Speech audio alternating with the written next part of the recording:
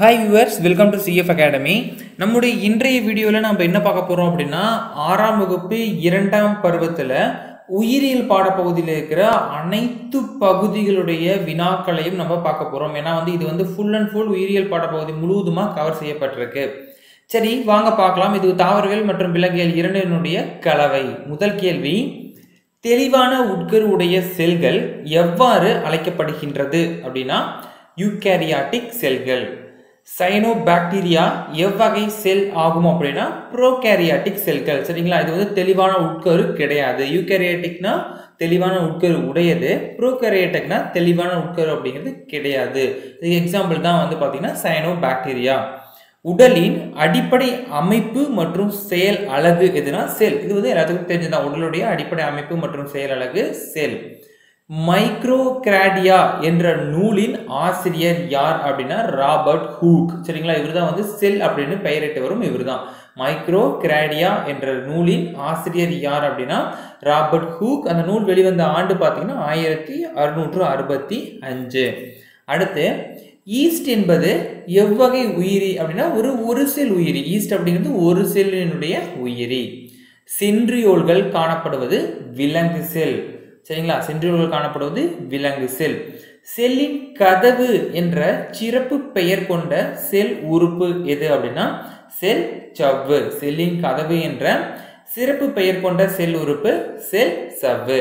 அடுத்து செல்லினுடைய ஆற்றல் மையம் என்று அழைக்கப்படுவது எது அப்படின்னா மைட்டோகாண்ட்ரியா செல்லினுடைய ஆற்றல் மையம் என்று அழைக்கப்படுவது மைட்டோகாண்ட்ரியா செல்லின் உணவு தொழிற்சாலை அப்படிங்கிறது பசுங்கணிகம் ஏன்னா பசுங்கணிகம்னா பச்சையம் இருக்கிறது சரிங்களா? பச்சையம் இருந்தால் தான் தாவரங்கள் வந்து உணவு தயாரிக்கும். ஸோ வந்து பசுங்கணிகத்தை தான் செல்லினுடைய உணவு தொழிற்சாலை அப்படின்னு சொல்லிட்டு நம்ம சொல்கிறோம் செல்லின் சேமிப்பு கிடங்கு எது அப்படின்னா நுண்குமிழ்கள். இதில் தான் வந்து வேதிப்பொருட்கள் மற்றும் உணவுப் பொருட்கள் எல்லாமே வந்து செல்லினுடைய முக்கிய பொருட்கள் எல்லாமே இந்த நுண்குமிழ்களில் தான் சேமிக்கப்படுது. ஸோ அதனால இதை செல்லின் சேமிப்பு கிடங்கு அப்படின்னு சொல்லிட்டு நம்ம சொல்கிறோம் செல்லின் அனைத்து செயல்களையும் கட்டுப்படுத்தி செல்லின் கட்டுப்பாட்டு மையமாக செயல்படுவது எது அப்படின்னா உட்கரு அதாவது நியூக்ளியஸ் நம்மளுக்கு பிரெயின் இருக்கிற மாதிரி தாவரங்களுக்கு உட்கரு. செல்லின் அளவை குறிக்கும் குறியீடு எது அப்படின்னா மைக்ரோமீட்டர். செல் என்ற வார்த்தையை உருவாக்கியவர் வந்து பார்த்தீங்கன்னா ராபர்ட் ஹூக் அப்படிங்கிறது தான் செல் அப்படிங்கிற ஒரு வார்த்தையை முதன் முதல்ல ப்ரொனவுன்ஸ் பண்ணாரு. மனித எலும்பு மண்டலத்தில் உள்ள எலும்புகளின் எண்ணிக்கை எவ்வளவு அப்படின்னா இருநூற்று ஆறு. மனித உடலில் நல்ல வளர்ச்சி அடைந்த ஒரு மனிதனுடைய உடலில் இருக்கிற எலும்புகளின் எண்ணிக்கை இருநூற்று ஆறு. மனித உடலின் மிகப்பெரிய எலும்பு அப்படின்னா மண்டையோடு. சரிங்களா? மனித உடலினுடைய மிகப்பெரிய எலும்புனா மண்டையோடு. விழா எலும்பு கூட்டில் உள்ள அணைகளின் எண்ணிக்கை எவ்வளவு அப்படின்னா பன்னிரெண்டு. மொத்தம் விழா எலும்பு கூட்டில் இருக்கிற எண்ணிக்கை எவ்வளவுனா பன்னிரெண்டு எலும்புகள் இருக்கு. மனித உடலின் மிகச்சிறிய எலும்பு எது அப்படின்னா அங்கவடி எலும்பு. நம்ம காதில் இருக்கிற அங்கவடி எலும்பு இருக்கு இல்லைங்களா? அதுதான் வந்து மனித உடலினுடைய மிகச்சிறிய எலும்பு. இதனுடைய அளவு பார்த்தீங்க அப்படின்னா ரெண்டு புள்ளி எட்டு மில்லி மீட்டர் மிக நீளமான எலும்பு வந்து நம்மளுடைய தொடை எலும்பு. மிக நீளமான எலும்பு தொடை எலும்பு. கட்டுப்பட இயங்கு தசைகள் என்று அழைக்கப்படுவது எது அப்படின்னா கட்டுப்படுகின்ற இயங்கு தசைகள் அப்படின்னு என்று அழைக்கப்படுவது மென் தசைகள். சரிங்களா? சாரி கட்டுப்படா இயங்கு தசைகள். மாற்றி டைப் ஆயிருக்குங்க. கட்டுப்படா இயங்கு தசைகள் என்று அழைக்கப்படுவது மென் தசைகள். எக்ஸாம்பிள் பார்த்தீங்கன்னா உணவு குழல் சிறுநீர்ப்பை தமணிகள் கணையம் மற்றும் இறப்பை. இதெல்லாம் வந்து தானாக இயங்கக்கூடியது. உணவு குழாயின் நீளம் எவ்வளவு? மனித உடலில் உள்ள உணவு குழாயின் நீளம் ஒன்பது மீட்டர் நீளம் இருக்குங்களாம். சரிங்களா? உணவு வந்து ஒன்பது மீட்டர் கடந்து போகுது. மாவு பொருட்களை குளுக்கோஸ் மற்றும் கிளைகோஜனாக மாற்றும் மனித உடல் உறுப்பு எது அப்படின்னா கல்லீரல். நம்ம சாப்பிட்ற மாவு பொருட்களை வந்து குளுக்கோஸாகவும் கிளைகோஜனாகவும் மாற்றக்கூடிய மனித உடல் உறுப்பு வந்து கல்லீரல் தான் மாற்றுது அடுத்து இறைப்பயிர் உள்ள அமிலம் எது? அதாவது இறைப்பையில் சுரக்கக்கூடிய அமிலம் எது அப்படின்னா ஹச்சிசிஎல் அதாவது ஹைட்ரோக்ளோரிக் அமிலம் தான் வந்து இறைப்பையில் சுரக்கக்கூடிய ஓர் அமிலம். சுவாச பாதையில் உணவு செல்வதை தடுக்கும் முக்கிய உறுப்பு எது அப்படின்னா வளைமூடு அதாவது எபிக்ளாட்டிக்ஸ் அப்படின்னு சொல்லிட்டு நம்ம சொல்லுவோம். நம்ம சாப்பிட்ற உணவு வந்து இந்த மூக்கு வழியாக நுரையீரலுக்குள்ளே போகக்கூடாது அப்படின்னா வந்து அதை தடுக்கிறதுக்காக சாப்பிட்றப்ப ஒரு டோர் மாதிரி க்ளோஸ் ஆக அது உதவுது. அதுதான் வந்து வளைமூடு அப்படின்னு சொல்லிட்டு தமிழில் சொல்லுவோம். எபிக்ளாட்டிஸ் அப்படிங்கிறது தான் அது. நுரையீரலை பாதுகாக்கும் இரட்டை அடுக்கு படலம் எது அப்படின்னா ஃப்ளூரா. நுரையீரலை பாதுகாக்கக்கூடிய இரட்டை அடுக்கு படலம் ஃப்ளூரா அப்படிங்கிற ஒரு படலம் தான் பாதுகாக்குது.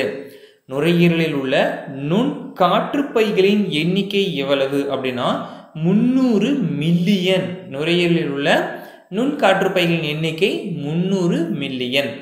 இதயத்தை சூழ்ந்துள்ள இரட்டை சுவர் பாதுகாப்பு அமைப்பு வந்து பெரிகார்டியம். இதயத்தை சூழ்ந்துள்ள இரட்டை சுவர் பாதுகாப்பு அமைப்பு பெரிகார்டியம். இரத்த சிவப்பணுக்களின் உற்பத்தி தொழிற்சாலை என்று அழைக்கப்படுவது எலும்பு மஜ்ஜை. சரிங்களா? நம்ம கை காலில் இருக்கிற எலும்பு மஜ்ஜையில் தான் வந்து பார்த்தீங்கன்னா ரத்த சிவப்பணுக்கள் வந்து உற்பத்தி செய்யப்படுது.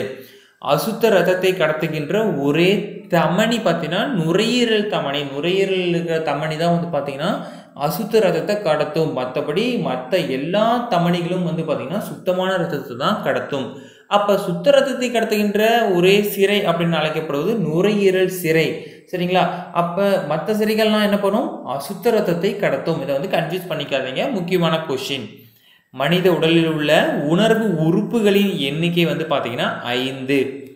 மூளையை உடலில் உள்ள பல்வேறு பாகங்களுடன் நரம்புகளுடன் இணைக்கக்கூடிய ஒரு அமைப்பு பார்த்தீங்கன்னா தண்டுவடம். சரிங்களா? தண்டுவடம் தான் பார்த்தீங்கன்னா மூளை வந்து மற்ற நரம்புகளுடன் இணைக்குது. சரிங்களா? அதுதான் வந்து டேட்டாவை டிரான்ஸ்ஃபர் பண்ணுது. மூளை கொடுக்குற கட்டளைகளை வந்து மற்ற நரம்புகள் மூலியமாக மற்ற பாகங்களுக்கு அனுப்புகிற வேலையை இந்த தண்டுவடம் தான் செய்யுது. மூளையின் அடிப்பகுதியில் காணப்படும் சுரப்பி எது அப்படின்னா பீனியல் சுரப்பி. மூளையின் அடிப்படையில் கா அடிப்பகுதியில் காணப்படும் சுரப்பி பீனியல் சுரப்பி. அடுத்த கேள்வி. சிறுநீரகத்தின் செயல் அடிப்படை அலகு எது அப்படின்னா நெஃப்ரான்கள். சிறுநீரகத்தின் செயல் அடிப்படை அழகு நெஃப்ரான்கள். மனித உடலின் மிக பெரிய உணர்வு உறுப்பு எது அப்படின்னா தோல். மனித உடலின் மிகப்பெரிய உணர்வு உறுப்பு தோல். ஒரு டெராபைட் என்பது டேஸ் ஜிகாபைட் ஆகும். ஒரு டெராபைட் அப்படிங்கிற ஸ்டோரேஜ் வந்து எத்தனை ஜிகாபைட்டுக்கு சமம் அப்படின்னா ஆயிரத்தி இருபத்தி நான்கு ஜிகாபைட்டுக்கு சமம். சரிங்களா? நம்ம இந்த வீடியோ மூலிமா ஆறாம் வகுப்பு இரண்டாம் பருவத்தில் இருக்கிற உயிரியல் பாடப்பகுதி அதாவது தாவரவியல் மற்றும் விலங்கியல் பாடப்பகுதியில் இருக்கிற முக்கிய கேள்விகளை பார்த்தோம். இந்த வீடியோ உங்களுக்கு பிடிச்சிருந்தா மறக்காமல் லைக் பண்ணுங்கள் ஷேர் பண்ணுங்கள் நம்ம சேனலை சப்ஸ்கிரைப் பண்ணாமல் இருந்தால் மறக்காமல் சப்ஸ்கிரைப் பண்ணிடுங்க தேங்க்ஸ் ஃபார் வாட்சிங்